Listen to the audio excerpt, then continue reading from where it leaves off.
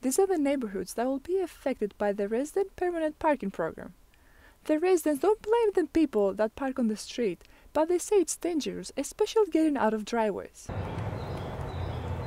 Brenda Nordgren lives here. Um, this street is very, very busy. It a lot of people use this as a shortcut, avoiding Prince Avenue. As you can see, there are no stop signs on Hill or on Highcrest Avenue, and people that are coming from Prince Avenue to avoid the traffic are speeding, and as a result, there have been many accidents with animals. Brenda explains that speed bumps are too expensive to install, so the solution was to install stop signs, but also only to allow permanent residents to park on the streets. Brenda walked me through the neighborhood and showed me how the non-resident parking is affecting her and some of the neighbors. No mail.